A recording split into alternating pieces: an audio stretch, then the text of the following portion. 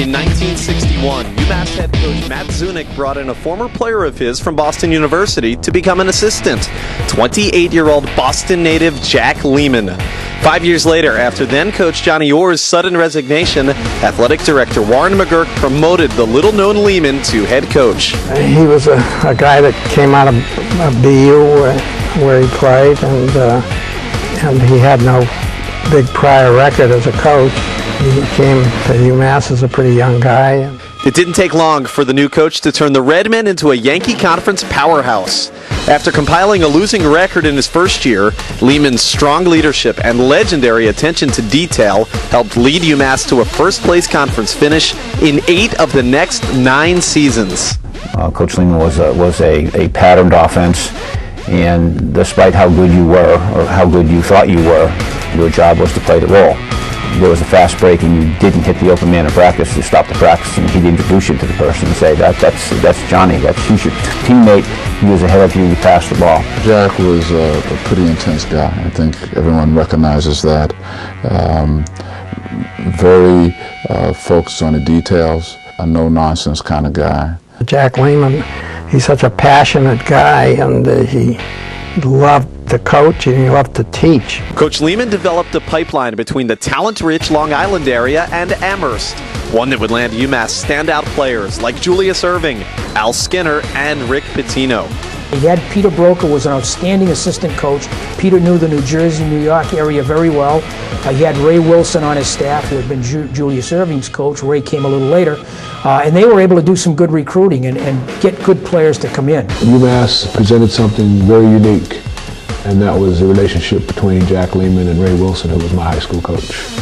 And they had attended BU together, and they were friends. UMass offered me a personal experience that I wouldn't have gotten elsewhere because of their relationship, and I think that was that was really the the, um, the driving influence for deciding to go there. With all the great talent aboard, Leaman's teams made the NIT six times in the first eight years of the 1970s.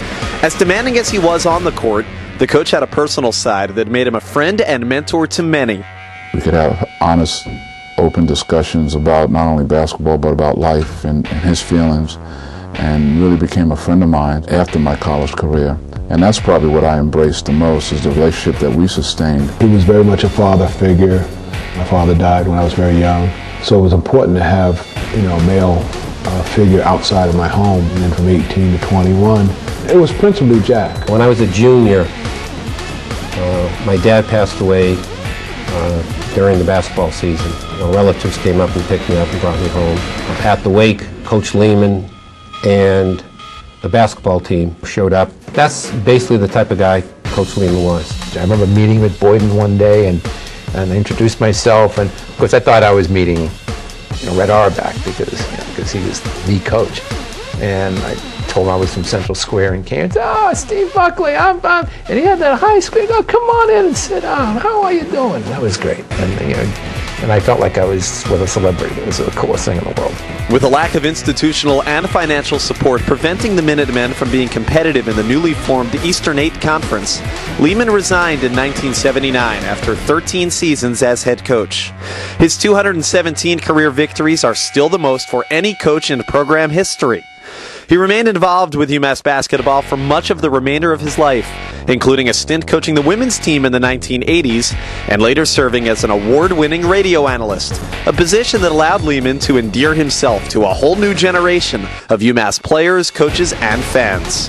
He was the former coach, and you're like, can you trust him? Is he for us? And the more we were around him, we're like, this guy, either he's fooling us or this is one of the great human beings I've ever come upon. He wants us to do well. Leaman passed away in 2004 at the age of 71. To this day, his name remains synonymous with UMass basketball. Jack Leaman was and remains posthumously, I think, the soul of UMass basketball as someone who is regarded regionally and really nationally as a great, great coaching mind uh, and someone whose loyalty to this basketball program extended for his entire life.